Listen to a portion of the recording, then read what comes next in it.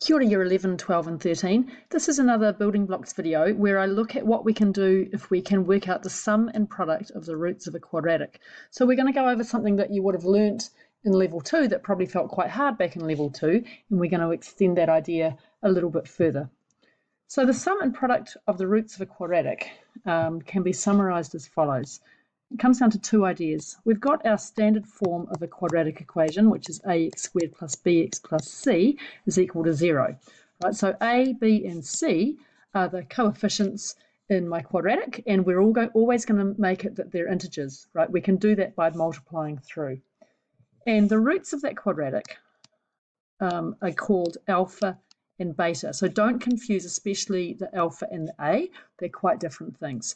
So if we think about what it means to be a root of a quadratic, we can write our quadratic as follows. Right, because we know that we must have a matching up with an x and an x here.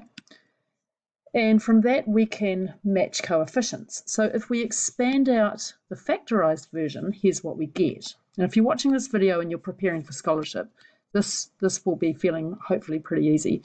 Um, so once we clean this up, this is what we come up with. Now that leaves me with a here, so ax squared, a equals a, well obviously. Then matching the b, we get negative a times alpha plus beta x is equal to b. Okay, because when I do the expansion, the coefficient from the factorized version, the coefficient on x is negative alpha plus beta in brackets times that a.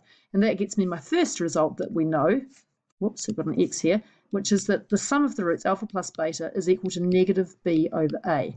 And when we do a similar thing with the uh, coefficient constant, not the coefficient, we get a alpha beta is equal to c, giving me the other rule that you would have memorized as alpha beta is equal to c over a. So quite often we don't want to have to find the individual roots of an equation. So what these, how these problems typically work is that suppose that we know alpha plus beta and alpha beta, then what else can we figure out? And we get these two from looking at my um, coefficient version. So let's start with an example. So this is just one I've made up. The beauty of this is that you can make up pretty much any example yourself to practice on, and then you can check it using GeoGebra. So here we've got a quadratic, and I didn't find the roots of this first, but they happen to both be real, and they're not too hard to find at all. What can I say about the sum and product of those roots? Well, we know that alpha plus beta is equal to negative 9 over 4, and alpha times beta is equal to 5 over 4. So these are going to be the things that I use from here. Now, if we know those, let's see if we can write a new equation with the following roots. alpha squared and beta squared. And we're going to do that without figuring out alpha equals or beta equals. Now, when you're doing this, I find it useful not to use a, b, and c in your second equation. So instead, we're going to say, let's make our new equation mx squared plus nx plus p equals 0. So, what can I say about this? Well, the new roots are alpha squared and beta squared. And the sum of the roots of a quadratic equal negative this over this. So the same thing goes here. Alpha squared plus beta squared is equal to negative n over m. And the product of the roots, which is alpha squared times beta squared, equal c over a. So that's, in this case, going to be p over m. So what we have to do is to take what we've got, which is information on alpha plus beta and alpha beta, right? We know those two numbers, and somehow manipulate this expression and this one to figure out P, M, and N. So let's think about what we might try.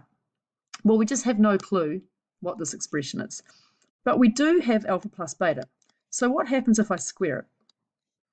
Well, if I square it, I get alpha squared plus beta squared plus 2 alpha beta. That means that I can now work out this because this is alpha plus beta squared, and I know this, minus 2 alpha beta, and I know this. How about the other one? Well, this one is always the easy one because alpha, alpha squared beta squared is the same as alpha beta squared is equal to p over m. Typically, the sum of the roots one is the one that's going to give you some drama. But that wasn't too bad. So what can I say now? Well, rearranging this, switching the sides, I get alpha squared plus beta squared is equal to negative 9 over 4 squared minus 2 times alpha beta. Okay, so I'm just going to scroll back up and make sure you know where these numbers came from. They came from my first equation, and they were the sum of the roots and the product of the roots in that first one. So using those, let's see what we get. Well, we get 81 over 16 Often you'll get pretty messy fractions when you're doing questions like this. Minus 10 over 4, which works out to be 81 minus 40 over 16, which is 41 over 16. And we know that that's equal to negative n over m. And remember, my new quadratic has got this form, mx squared plus nx plus, I think I said p, is equal to 0. Now we're going to do the product of the roots and we have alpha squared beta squared is equal to alpha beta squared. So this is the easy one. So that's 5 over 4 squared, which is 25 over 16. And that's going to be P over M. So by making a sensible choice on M, this works out really nicely. M is 16, N is 41, and P is 25, which means that this equation, 16x squared minus 41, hang on, where's n? No, n, sorry, n is negative 1, negative 41. Just be careful with that because you'll see I, I mucked that up really easily. And so you might too. Um, here's 40, 41 here is negative n. So n's negative 41. So going back to my quadratic, here's what we've got. So let's go over again what's so special about this quadratic. Well, it's got roots, we claim, of alpha squared and beta squared. But I thought some of you might not believe me. So what I've done is I've gone over to GeoGebra and I've graphed the following two equations. So I've graphed our first equation, which is 4x squared plus 9x plus 5 equals 0. And you can see that the roots end up being um, what did we get? So alpha works out to be negative 1 and beta works out to be negative 1.25.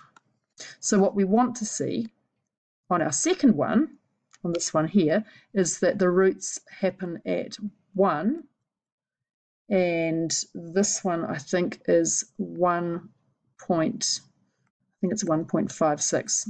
Yeah, it is because it's um 25 over 16. So let's look at the graph.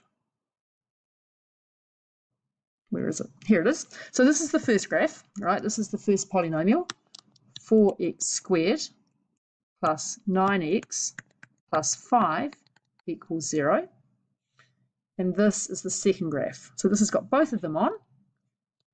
So there they are. And this is the one with roots alpha squared and beta squared. So if that's alpha and that's beta, here's alpha squared sitting at positive 1.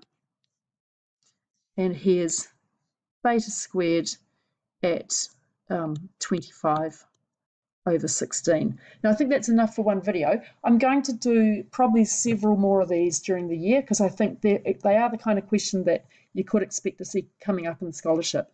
Um, because you have to be a little bit creative with what we do um, to figure out the alpha squared plus the beta squared. So this is probably the most straightforward type. In the next video, I'm going to look at how we can have um, the sum of the cubes and the product of the cubes.